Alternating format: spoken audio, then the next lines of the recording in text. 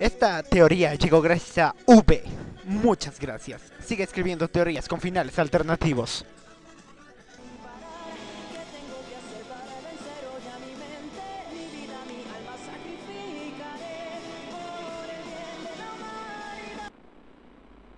Todo iniciaría cuando unos secuestradores matan al padre y secuestran a la madre de mi casa y a mi casa unos años antes que en la historia original, enviando a la madre a los Distri. Gritos de la muralla china a que sea la concubina de algún noble, mientras que mi casa tenía que pasar por el subterráneo donde es rescatada por Levi, Isabel y Fubar, ahora Mick. Mi casa sentiría sentimientos por Levin o por Eren, como en la historia original, serían reclutados por el cuerpo de exploración para matar a Erwin, pero mi casa no entraría por...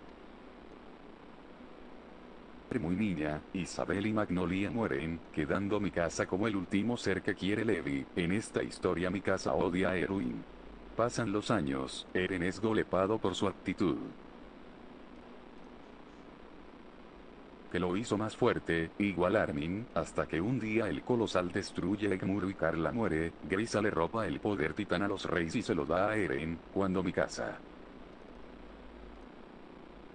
14 entra al cuerpo de exploración, Eren se une al ejército, quedando Ymir en diezmo lugar, Reiner como primer lugar es mandado a cuidar la puerta, y la destruye.